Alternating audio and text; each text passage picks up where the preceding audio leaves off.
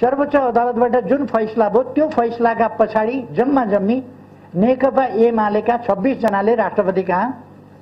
विद्रोही भन्दै। विद्रोही के को विद्रोही हुन्छ? विद्रोही भनेको न्यायका निम्ति लड्ने शब्द हो। विद्रोही होइन अनुशासनहीन अराजक ढङ्गले। राष्ट्रपतिज्यू कहाँ? आफ्नो पार्टीको सरकार ढाल्ने अर्को पार्टीको सरकार बनाउने प्रमुख प्रतिपक्षलाई प्रधानमन्त्री बनाउनु पर्छ भनेर हिँड्ने खालका अनुशासनहीनता र अराजकता प्रकट भए।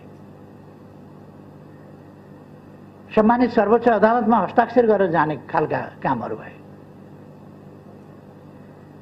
यस्ता विपक्षीसँग विरोधीसँग मिल्ने भित्र अन्तर्घात गर्ने पार्टीमा भित्रभित्रै विपक्षीसँग साँठगाँठ गर्ने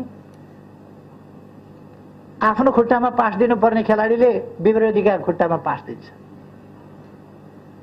आफू गोलरक्षक हुनुपर्ने ठाउँमा पोस्ट खाली गरिदिन्छ।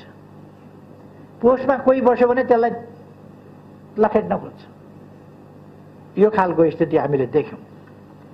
र यस प्रकारका अनुशासनहीन अराजक कामहरू पार्टी विरोधी गतिविधिहरू र एक ढङ्गले भन्यो भने यो पार्टी विरोधी मात्रै भएन यसले अन्तत्वगत्वा लोकतान्त्रिक प्रणाली यी सबै कुराका पनि यो विरुद्धमा गयो र यस्ता अपराधिक क्रियाकलापहरू समेतबाट आज यस परिणाममा यस अवस्थामा देश पुगेको छ।